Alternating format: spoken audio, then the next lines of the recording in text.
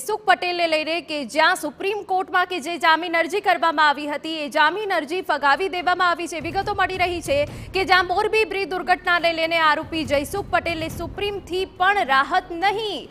આરોપી જયસુખ પટેલે જામીન માટે સુપ્રીમ કોર્ટમાં અરજી કરી હતી. તમને જણાવી દઈએ કે આ પહેલા ગુજરાત હાઈકોર્ટમાં અરજી કરવામાં આવી હતી કે જ્યાં હંગામી અને નિયમિત જામીન અરજી કરાઈ હતી, પરંતુ સુપ્રીમથી પણ રાહત ન મળવાના સમાચાર છે. સંવાદદાતા રોનક વર્મા વધુ વિગત આપી રહ્યા છે. રોનક પૂરી વિગત? સીધા મહત્વનું છે કે દસેક મિનિટ પહેલા જ આજે સુનાવણી છે તે મૌખિક રીતે પૂર્ણ થઈ છે અને હાલ પૂરતું સુપ્રીમ કોર્ટે કોઈ પણ પ્રકારની રાહત આપવા માટે ઇનકાર કર્યો છે.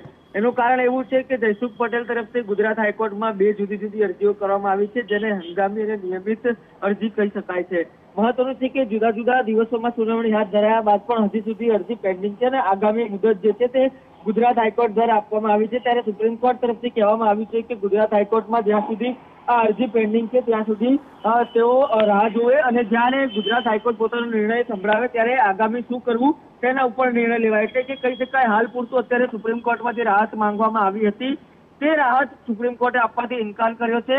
વિગતવાર જે ઓર્ડર છે તે થોડા સમય બાદ આવશે, પરંતુ મૌખિક રીતે જે પણ વાતચીત થઈ છે તેમાં સુપ્રીમ કોર્ટે જે મોરબી બ્રિજ દુર્ઘટનાના આરોપી જયસુખ પટેલને કોઈ પણ પ્રકારની રાહત આપવા માટે અત્યારે ઇનકાર કર્યો છે, એટલે કે આગામી કેટલા દિવસો માટે હજુ પણ જયસુખ પટેલને જેલમાં જ રહેવું પડશે તેવા સમાચાર હાલ પ્રાપ્ત થઈ રહ્યા છે. બિલકુલ, રોનક, તો ગુજરાત હાઈકોર્ટમાં અરજી પેન્ડિંગ છે, તેની રાહ જુઓ તેવું સુપ્રીમ કોર્ટ તરફથી કહેવાયું છે. સુપ્રીમ કોર્ટે અરજી સાંભળવાનો સાફ ઇનકાર કરી દીધો હોવાની વિગત છે, એટલે કે જયસુખ પટેલને સુપ્રીમ કોર્ટથી પણ રાહત નહીં.